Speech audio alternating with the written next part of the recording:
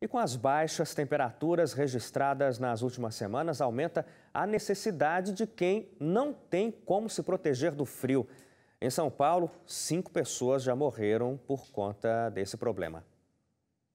Sair de casa bem agasalhado não é suficiente para escapar da onda de frio. Blusas, casacos, luvas e cachecóis passaram a ser itens obrigatórios para quem tem que levantar cedo e encarar mais uma rotina de trabalho. O inverno começou essa semana, mas o frio que chegou bem antes já registrou as mais baixas temperaturas dos últimos 20 anos. Olha, essa foi uma anomalia de, de temperatura que ocorreu.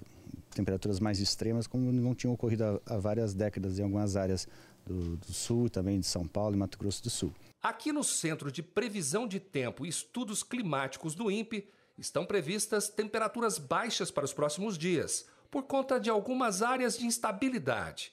Mas desta vez, não devem ser tão intensas como as que foram registradas nas últimas semanas. A tendência agora nos próximos dias ainda é temperaturas baixas durante o período da tarde, mais a menos, por causa dessas áreas de instabilidade.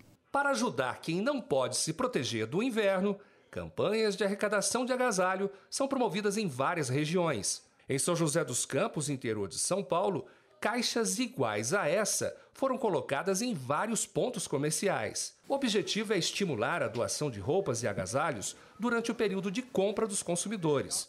São mais de 200 postos de arrecadação.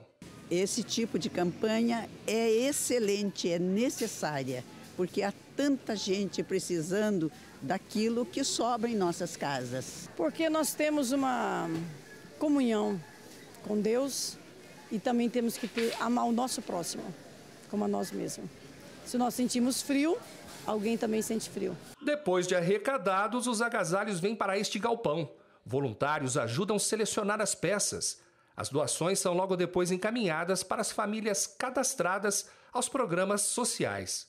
Além de blusas e cobertores, calçados também são sempre bem-vindos. Segundo o presidente do Fundo Social de Solidariedade, no ano passado foram arrecadadas cerca de 250 mil peças de roupas. A meta este ano é superar este número. No inverno, obviamente, a comunidade se sente mais é, tocada no sentido de auxiliar a aquecer um pouco mais a população em situação de vulnerabilidade social. Já foram mais de 30 mil itens de vestuário doados e cerca de mil famílias atendidas. O jeito, então, é acostumar com esse frio, que parece que vai demorar mesmo para dizer tchau.